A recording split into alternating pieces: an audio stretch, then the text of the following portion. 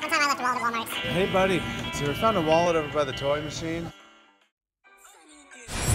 Bye-bye, TV. We're gonna miss you. Hopefully you come back to us soon.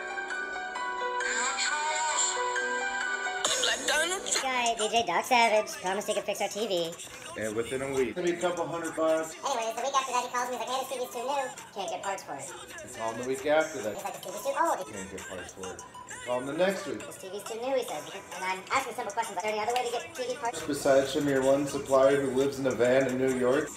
Nope, that's the only way to get him. Kirk.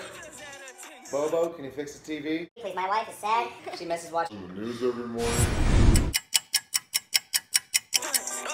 On a date. Hey,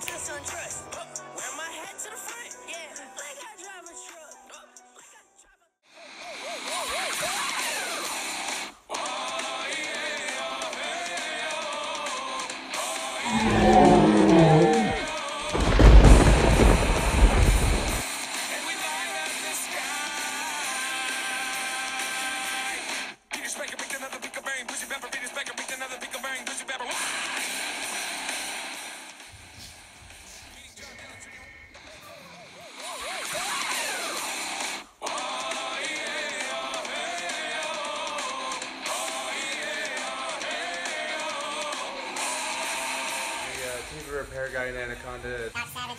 Good buddy. I think I know your scam. Uh, tricking people in. Bringing your TVs, I think you're just